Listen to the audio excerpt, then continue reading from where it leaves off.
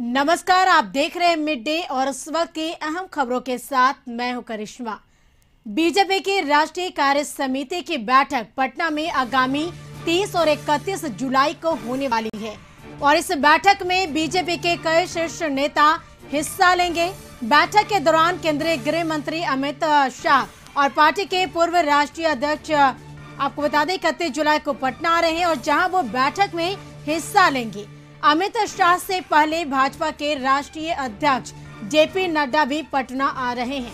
Bharatiya Janata party कार्य समिति की बैठक के समापन में अमित शाह भाजपा के सभी मंत्री और कार्य समिति के सभी सदस्य को संबोधित भी करेंगे।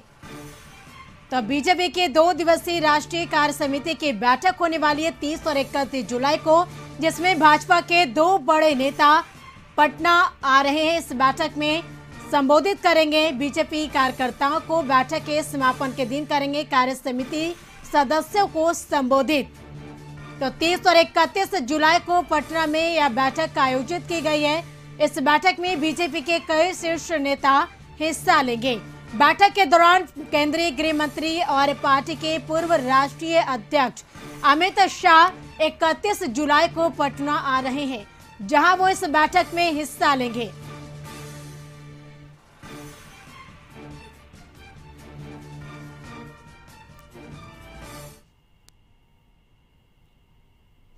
और अधिक जानकारी के लिए पटना से संवाददाता मरगुब आलम हमारे साथ जुड़ चुके हैं। मरगुब, बीजेपी की राष्ट्रीय कार्य समिति की दो दिवसीय बैठक होने वाली है और इस बैठक में बीजेपी के दो बड़े नेता पटना आ रहे हैं और ऐसे में यह बैठक कितने महत्वपूर्ण माना जाए, क्या अहम जानकारी?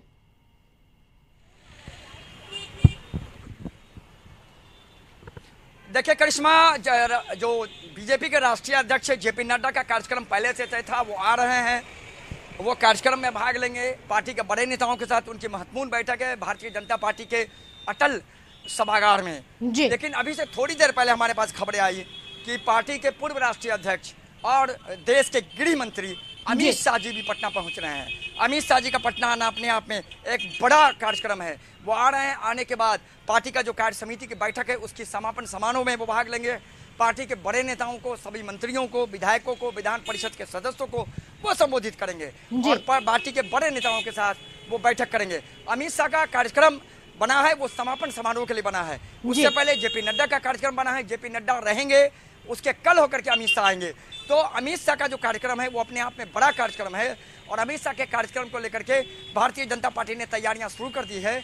वहाँ कल कई बैठकें हुई हैं आज भी भाजपा के जो प्रदेश अध्यक्ष संजय जायसवाल के नेतृत्व में कई मंत्रियों के साथ उनकी सुबह बैठक हुई है और अमित शाह के कार्यक्रम को लेकर सभी लोगों को ज़िम्मेदारी दी जा रही है।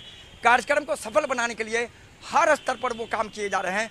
फ़िलहाल दो बड़े नेता एक राष्ट्रीय अध्यक्ष एक पूर्व राष्ट्रीय अध्यक्ष देश के गृह मंत्री अमित शाह जी का कार्यक्रम पटना में बन गया है। और फ़िलहाल भारतीय जनता पार्टी के कार्य समिति का जो समापन समारोह। है उसमें वो भाग लेंगे और पार्टी के बड़े नेताओं को संबोधित करने के बाद एक बैठक करेंगे। उसके बाद वो उसी दिन दिल्ली के लिए रवाना हो जाएँगे। मरगूब क्या लगता है? क्योंकि जिस तरीके से बीजेपी के दो बड़े नेता पटना दौरे पर आ रहे हैं और ऐसे में क्या लगता है? क्योंकि आगामी 2024 लोकसभा चुनाव की अगर हम बात करें तो क्या इस बैठक के दौरान का सदस्य को क्या मूल मंत्र भी दिए जाएँगे? देखिए आपको पता है कि हालाँकि अभी समय है लगभग डेढ़ से दो साल बिल्कुल। लोकसभा के चुनाव में लेकिन भारतीय जनता पार्टी ने उसकी शुरुआत अभी से करती है।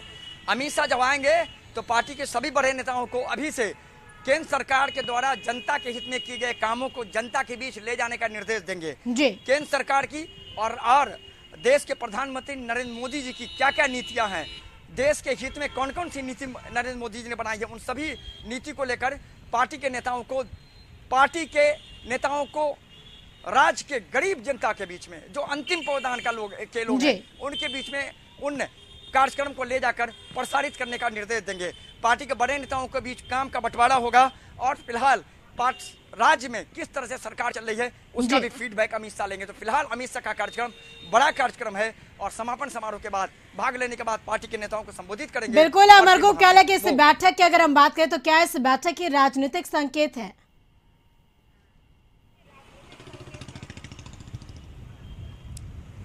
देखिए बैठक राजनीतिक दलों की कोई भी बैठक होती है उसके राजनीतिक मायने होते ही हैं। सभी पार्टियाँ अपनी अपनी अपने तरह से तैयारी करती है पार्टी को मज़बूत बनाती है सभी पार्टियाँ पार्टी को लेकर के चिंतित रहती है। तो पार्टी के बड़े नेताओं के साथ बैठक है तो पार्टी के अंदर क्या चल रहा है? पार्टी के बड़े नेताओं के बीच काम का बंटवारा क्या हो रहा है? कैबिनेट के मंत्री कैसा काम कर रहे हैं? पार्टी के संगठन के लोग कैसा काम कर रहे हैं? सरकार की क्या क्या नीति पर काम हो रहा है? राज्य सरकार केंद्र सरकार की कई योजना है। उन योजनाओं को लेकर के क्या जनता की सोच है? तो सभी लोगों के बीच एक काम का बंटवारा करेंगे अमित शाह। और उनकी बैठक बड़ी महत्वपूर्ण बैठक होगी। लेकिन निश्चित तौर पर बैठक के बाद क्या निर्देश होगा ये तो उस समय पता चल पाएगा। लेकिन हमने आपको बताया कि समीक्षा होगी सभी लोगों के काम की और फिर एक निर्देश होगा अमित शाह का। उस निर्देश पर पार्टी के सभी नेताओं को मंत्रियों को काम करना होगा। बिल्कुल करिश्मा। तमाम बातचीत के लिए आपका बेहद शुक्रिया।